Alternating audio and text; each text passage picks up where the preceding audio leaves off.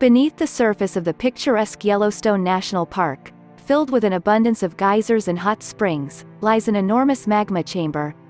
According to an analysis of earthquake data eight years ago, the magma chamber is 80 kilometers, 50 miles, long and 20 kilometers, 12 miles wide.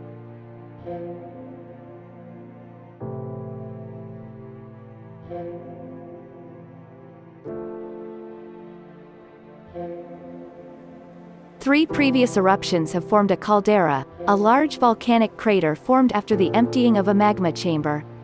This measures some 70 kilometers, 43 miles, by 45 kilometers, 28 miles.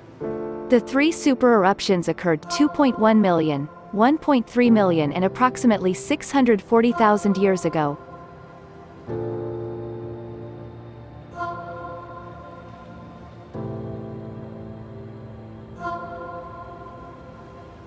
Though Yellowstone is due an eruption, based on the timeline of previous eruptions, scientists believe the proportion of molten rock in the magma chamber is far too low to allow for another supereruption, the last of which dwarfs anything seen in the modern day.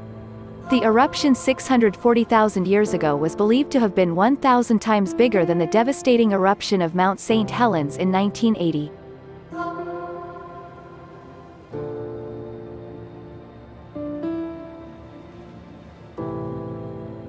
The Mount St. Helens eruption in Washington state killed about 57 people and reduced hundreds of square miles to wasteland, causing over $1 billion, 737 million pounds, in damage, equivalent to $3.5 billion or 2.5 billion pounds in today's money.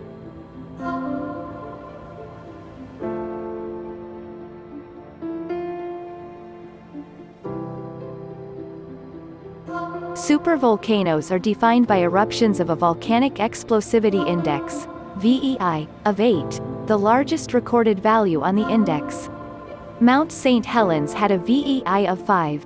Eruptions occur when magma in the mantle rises, but is unable to break through it.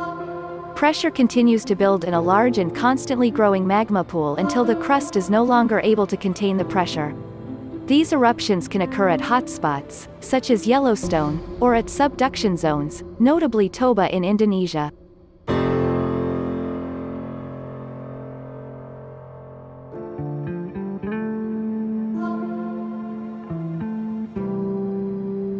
The 2004 Naked Science documentary, Supervolcanoes, explored how a Yellowstone eruption would affect the world, and the impact it would have on the United States in particular. The blast itself would be enormous, but nothing compared to what would follow. The documentary's narrator said, Spreading out from Yellowstone would come one of nature's most deadly forces, violent, deadly clouds of rock, ash and gas called pyroclastic flows.